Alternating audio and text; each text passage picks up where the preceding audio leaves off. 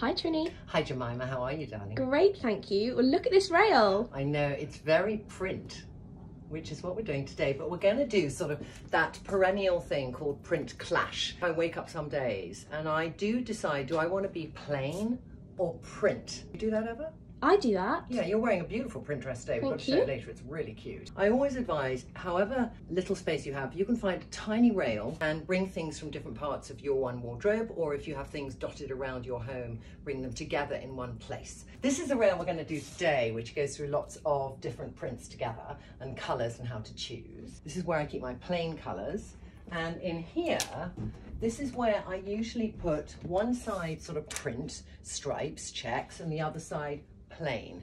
And I do the same with dresses, because some days I feel like a print dress, and some days I feel like a plain dress. So I kind of have mainly plain this side and print this side. It's so curated, I love it. What are you wearing today? So this is um, Utiku, Utiko, I never know how to pronounce it. They also had this top, and I got this top. Now, this top actually has a big bib, all right? Oh wow. But for the purposes of my sort of print clash day, I felt that was all quite a lot. There's no principles here as to colours that go really well together. There are always, has to be some connection. So the connection to me in this outfit is that the the prints going on are about the same size. And I think having proportion in print size is really important when you're doing a print clash. It's got the energy and fun. So there's a real, like you ex don't expect check to be in a, in a bright green. And as a knitted top, this is as mad as you can get. So I love that combination. Me too. Yeah. And then I've just done like a little sort of Sacha lip and the, the ends of a smoky eye. So I've just let the clothes do the talking and a brightness enough to the lip that I'm not washed out by the colours. Great Okay. first outfit. Thank you, darling. All right, next. Next. Now this is like a little miracle because I had these trousers forever. They're really old Topshop and I love that 70s flair. The top is Phoebe and Grace this season. And if you look, it's got so many similar colours. So there's that goldeny colour there and there's the green and there's the black. Oh, you'd think they're made by the same company. You would, wouldn't you? Oh, genius. It is quite genius. I'm very excited. And then with this, I'm thinking I wouldn't do like a bright pink, but I might do like a nice sheer shimmer. So I'm going to do Nicole and then just pop my cheek a bit. I just want to have that strength of a sort of blusher, which becomes a cheekbone product, which becomes a highlighter, which is what Nicole sheer shimmer really is. Mm. So I've done a whole face, changed my face with one product. You're so right about prints diffusing prints. Do you do the half tuck with prints as well? I have it all tucked in. There's that kind of, you know, here's one print and here's the other. And just having that little bit there, you just have the elongation of the leg and it just is a little bit cooler. And with soft shirts, it's much easier to do if it's a first time thing for you to try. So chic. And they're both cut really well. I know they are, aren't they? I love the flares. Yeah, I gotta wear that. Okay, next outfit. Next up, this is a really bright stripe. So before I show you the full outfit, I need to just change my lip because I want to go that cooler pink. It's the kind of pink that you think of, that sort of 60s pink, but in a modern take. So it's got a bit more colour to it and doesn't wash you out. I had a um, Camilla and Marc suit from Australia and Susanna copied it for me in a tweed. And I love this tweed, but I always find it difficult to wear things with them. In the past, how I've worn it actually is with the pink shirt, which I really like. But I noticed that this other Attico jumper had a few of those shades in it. So in fact, it's got the blue, it's got the purple, it's got the yellow, and it's got the green. And if I was sort of winterizing the look, or for those of you in Australia, New Zealand, Auckland, get out of black, um, you could do that. What about a bag? Oh, oh, oh, oh. Talking about Australia, I could just do that. And then if it gets cold, then I just go plain again um, and do yellow and do yellow, yellow, which I could. You could. Yeah, I could. Um, I could also consider bringing some of that green in, That's nice. which is quite nice, isn't it? Should we just see if that's all Yeah. too much? You know what was wrong is I had it like this, which makes it look like a shawl. So Mm. these tiny details are so important because that across is like, you know, grandma shawl. So it's so important you tuck in and you don't have that grandma moment and all the colour gets to the centre. Mm, I love the pink of the sleeve popping out.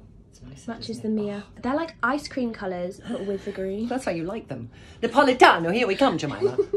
Next outfit. this is interesting. I'm going to try it two different ways. But maybe before I try it, how is that? I don't think that Mia's going to work with the beige. It's not really working. It's like making me wash out and look Yeah. makeup. Let's fix the makeup first. Then I'm going to show it tucked in. and out. And then I'm going to try some darker shades. I'm going to do Katinka, which is a really good colour I don't use often. Whenever I wear Katinka, I realise how much I love it. It is a lip love, so I shouldn't put it on my cheeks, but I'm putting it on my cheeks.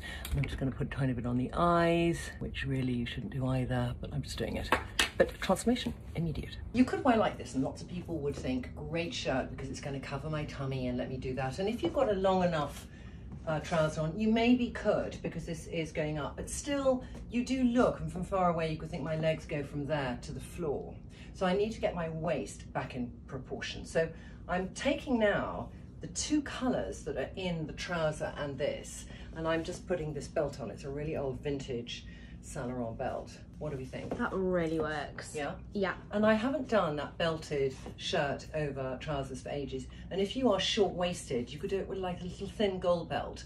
But because I'm quite long waisted, I need the width of the belt to really draw in my waist. I really feel good in that. Your legs look so long.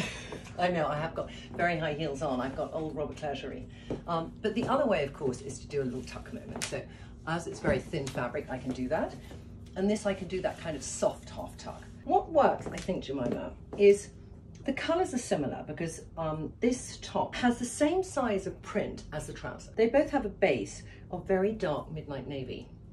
And then they both have a sort of neutral tones in them. This is lighter, but there's enough of that splotches of dark on light and splotches of light on dark. Such a good way to get out of black. Oh, isn't it just? That's brilliant. The best. Now, accessories. I'm just thinking what I'd wear with it. Because it's summery, I'm going to carry on that sort of biscuit beige moment and put the little Lutz Morris bag on with it because I think that just kind of softens the look. I could do the same in black, but I prefer to do any colour for the summer.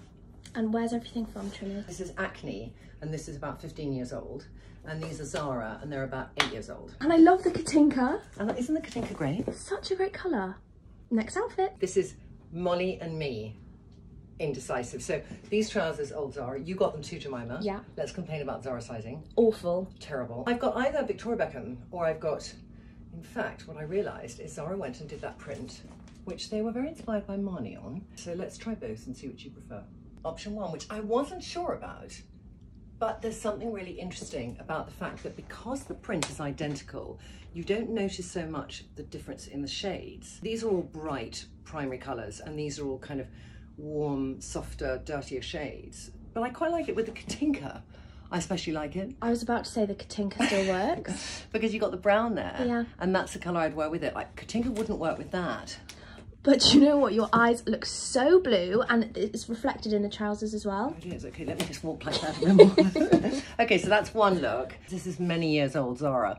But I, I know lots of Trinny Tribe have it because I've seen you wear it and it's such a good shirt and it, it really feels expensive. Yeah, I think it's the neckline. It's a neckline, isn't it? Yeah. And it's the length of the sleeve and it's the volume of the fabric. Where has the old Zara we love gone to? Option number two. I love this shirt and I think you all love the shirt because it's my best colour. But we mustn't be put off by that when we look at the whole outfit. There is the same blue and this is why, because Molly chose this and said, look, the blue is the same. So I think it's quite interesting. It's a very different look. What do you think? I do like it. I think I preferred the first look. But I do love the lip love. Not sure Katinka is the right No, one. Katinka, I'd never wear Katinka with the shirt. Okay, let me just change to what I wear with the shirt. So I might just put Sacha on again. Sacha is the colour of the flamingos. What do you think, Jemima? Much better. No, look, have a look, 'cause then they can see your dress. How pretty is Jemima's dress? It's adorable. From Zara this season. Okay, excellent. All right, is it going to make us change our idea of the outfit, though? Kind of. Kind of, but you prefer the other one, don't you? I do like it more with Sacha Lip Love. Yeah. What do you think, ladies? Option one or option two with the bluey look? Next outfit. This is actually put on for Rory because I want to show you, darling, the Tudor ruff. Carvin gorgeousness. This is interesting. I just don't know if it works. And there's a few reasons why. What we love is this combination of colours because it's sort of pastels having a party together.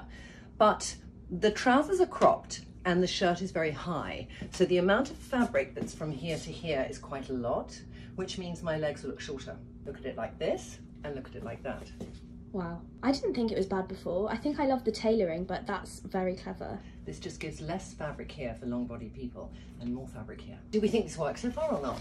Um, initially I was about to say no, but from far away I do like it, and then as I get closer, and you You're see the sure? little. The little lambs. and it could be I'm a bit martini. Anyway, now, do we like it?